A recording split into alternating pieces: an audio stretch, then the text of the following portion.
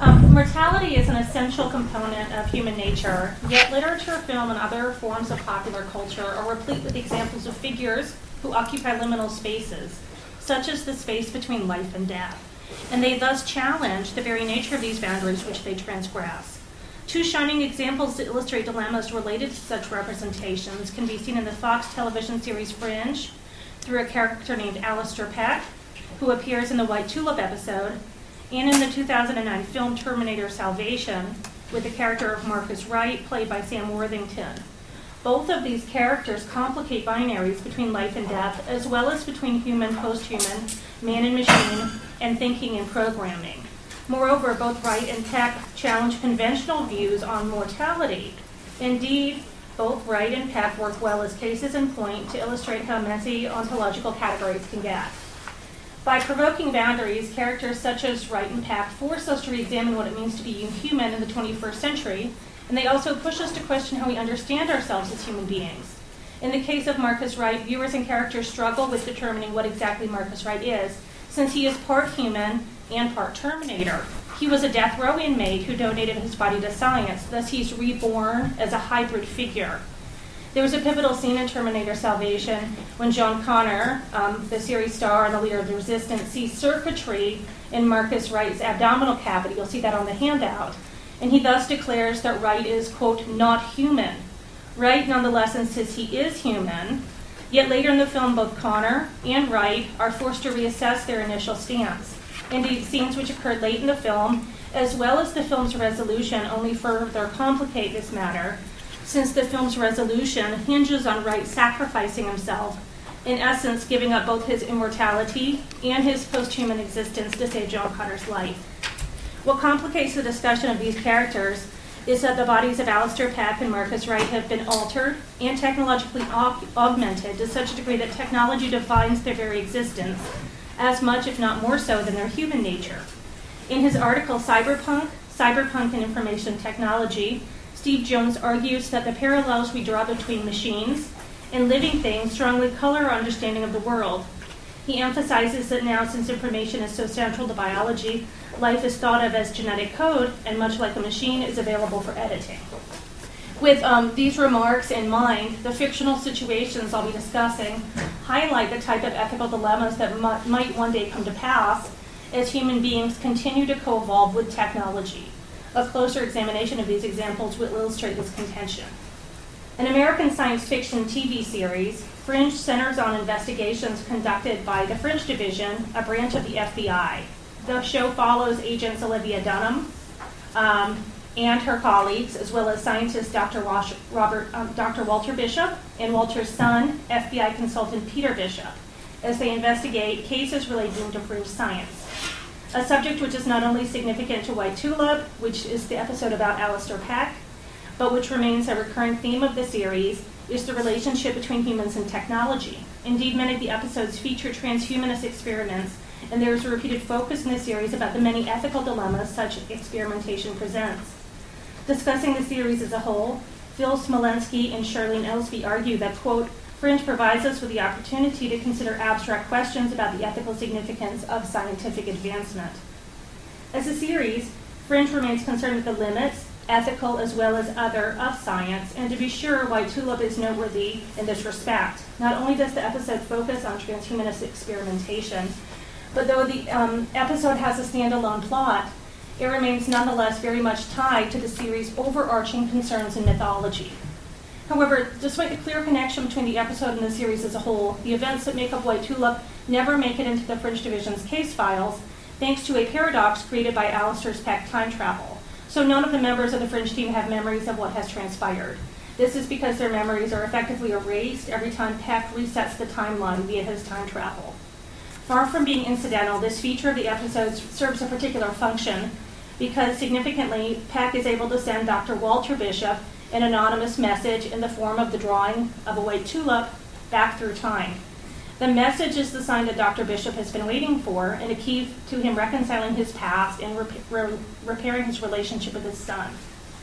White Tulip begins much like other episodes in the series. The team is called to investigate an unusual occurrence. When they arrive, however, they discover a train full of cars, uh, a train car full of dead bodies, and they are also presented with an unsettling mystery to solve since there's no readily apparent cause of death. Uh, Dr. Bishop learns that all of the uh, victims have one thing in common their personal electronic devices were drained of power. He formulates a theory that someone or something drew energy from the people and their electronics.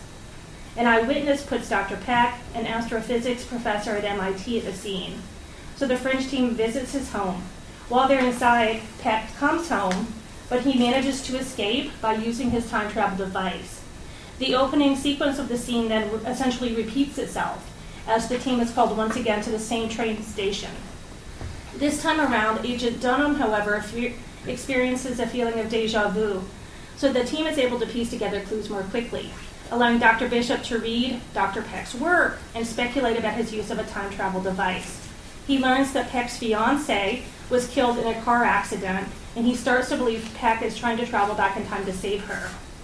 Bishop eventually confronts Peck with this theory, and he tries to discourage him from making any further back jump back, jumps back in time, telling him that the price would be too high because it would drain life from anyone in the vicinity, and there would be no reset this final time. So the victims, in essence, would stay dead. Peck tells Bishop that he's already considered this, and because of this concern, he's found a field near where he needs to jump, and he says he'll land there, um, causing only loss to plant life. Dr. Bishop still tries to dissuade Peck, saying that some lines should never be crossed. Peck, however, does jump back in time. He ends up in the field like he promised, giving himself just minutes to reach his fiancee. When he reunites with her, though, he changes his mind. He does not pull her from the car, which was his original plan. Instead, he tells her he loves her. Moments later, they both get killed in the same auto collision. Before the episode ends, the camera pans in to Dr. Bishop, where the events have never occurred because of the time travel paradox, and he receives the drawing of the white tulip in the mail. Uh, beyond contributing to the series' overarching mythology, this episode is provocative for the way it ultimately merges ethical with ontological questions. Dr. Peck is described as a cyborg scientist who makes the ultimate sacrifice to reconnect with the love of his life by embedding mechanical probes in his chest to propel his body through time. That's the other picture from the handout. By grafting this technology onto his body, Peck transforms into something other than human. In fact, Peck becomes the literalization of the metaphor that it's impossible to separate man from his tools. Yet, yet Peck's motives for crossing this line are all too human, since his invention, use, and ultimate merging with technology is the direct result of him wanting to save the woman he loves. In this manner, the character of Peck complicates the binaries between human, post-human, man-machine, and thinking and programming. As a character, Peck works well as both a foil and a parallel to Dr. Bishop, who's presented in the series as a modern day Dr. Frankenstein. While Peck pushes the boundaries even further than Dr. Bishop does by actually becoming one with technology and thus becoming post human, he stops short of Dr. Bishop's ambitions and he resists the view that science should operate independent of ethical concerns by his ultimate decision to die with his fiancee. As much as he wants to pull her from the car and save her life, he seems to understand that there are some things scientists shouldn't do, even if it's within their power. His decision shows both respect for human life and humility. He's not willing to kill innocent humans in the name of scientific progress, nor is he ultimately willing to play God by saving his fiancée Arlette, though it's in his power to do so. By the end of the episode, Peck, although he may be post human, demonstrates that he's not at odds with humanity. Ultimately, by sacrificing himself and choosing to die along with his fiancee, he turns away from a post-human existence and toward mortality, since it means reuniting with the woman he loves. Moreover, unlike Dr. Bishop, whose many scientific discoveries have ended up in the wrong hands, Peck also effectively destroys the technology he created, and along with it, the means to travel through time when he perishes along with his fiancee, Arlette. Um, Terminator Salvation is the fourth installment of the Terminator franchise. It is set in 2018 in a post apocalyptic Earth populated by a small group of human resistance fighters. The central conflict of the film is the war between the embattled human collectives and cyborg armies. Even though John Connor, the leader of the resistance and the series protagonist, plays a role in the film, the narrative actually follows another character, Marcus Wright, Wright first appears in the year 2003 as a death row inmate. He's being persuaded by Dr. Serena Kogan to donate his body to science. She tells him that allowing his body to be used for medical research will be a way for him to atone for his crimes, and he, albeit reluctantly, agrees. Marcus Wright next appears in 2018. He's in Los Angeles. He looks disoriented. To um, onlookers, including the teenage Kyle Reese and another child named Star, it seems that Wright is in jeopardy. So they intervene by destroying a nearby T600 model that they perceive to be as a threat. Wright acts confused when he meets them, asking Reese and Star what year it is. He also claims to have no knowledge of the ongoing war between humanity and Skynet. The three leave together to find other humans, but another attack occurs, separating them.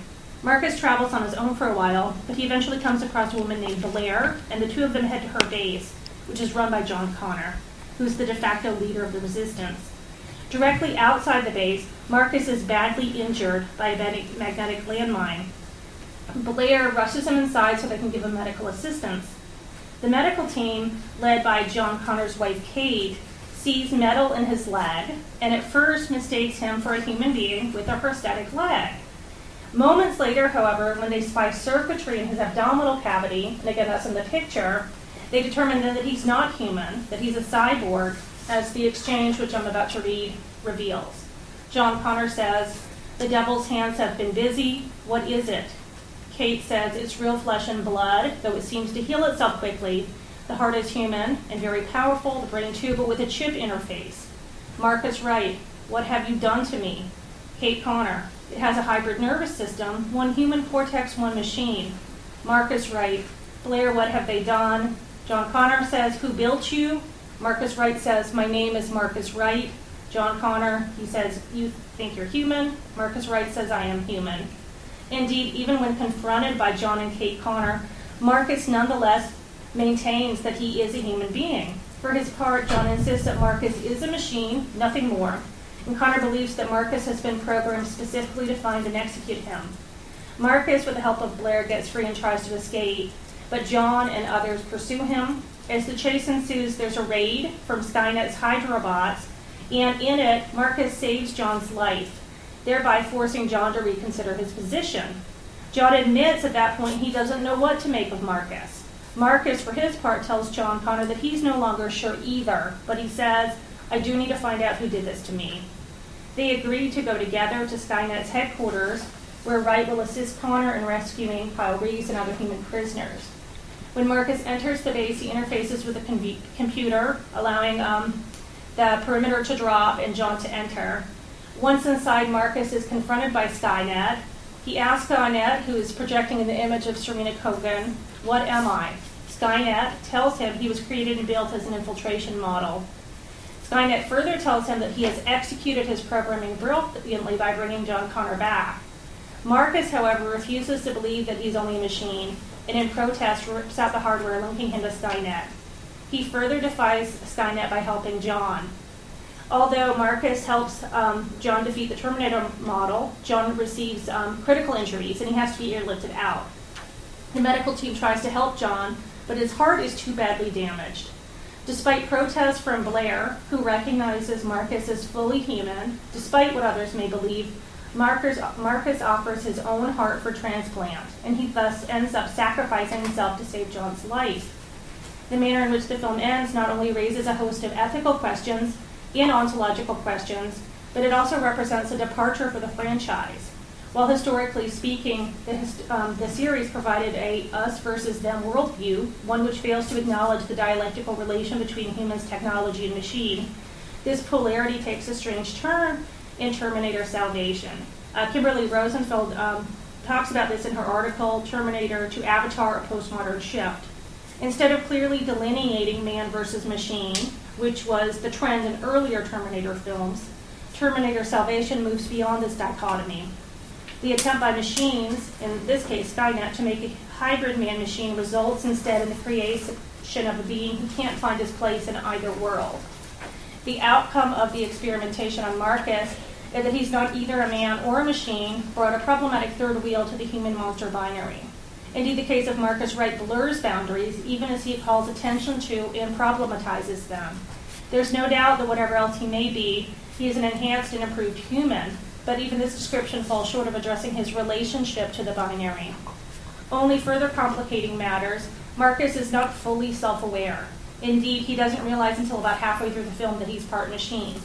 When he discovers, only after delivering John Connor to Skynet, that he is part of a scheme to kill Connor, Marcus then humanly defies the programming. Furthermore, he insists upon his own humanity by declaring, I know what I am, even as he rips the hardware link from his cortex. Even if Marcus has persuaded himself that he is human, others are not similarly convinced. Skynet tells Marcus quite clearly that the human condition no longer applies to him, and the majority of humans seem to concur. In fact, the notion that Kate and the others would allow a living donor to forfeit his own existence to save another's life, which is precisely what Marcus does for John, represents both a clear breach of medical ethics as well as human rights as we understand them today. To be sure, they deny him his basic rights, including his right to live. Um, so, this is the idea of necropolitics that um, we heard about in the introduction. Even as they remain willing to accept his very human sacrifice of donating his own heart to save John Connor. Indeed, by offering himself up as a donor, Mark epitomizes the best of human nature, self sacrifice, yet his sacrifice is only allowed because he's not recognized as fully human. By the conclusion of the film, Marcus Wright, even though he may be post human, establishes that he is not at odds with humanity. Indeed, he ultimately sacrifices himself, like Peck in the Fringe episode, and he turns away from immortality, turning away from a post human existence toward death. Um, just as Haraway underscores, the relationship between human and machine is not always clear. And when conceptual concerns about creation, the question, for instance, of who makes and who is made or added to this already complex dynamic, answers become even more elusive. While Wright and Peck are fictional characters, the type of ethical quandaries presented in these examples of pop culture may one day come to pass, especially considering the rate with which technology is advancing. Because of this, these characters raise important questions about what it means to be human in the 21st century. In fact, both characters trouble the binaries of human, post human, man and machine, and thinking and programming. They also cha- challenge conventional views on mortality.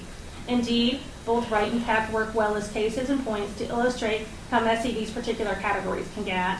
They also push us to examine what direction our evolution might take and to what extent humans will continue to co-evolve with technology. Thank you.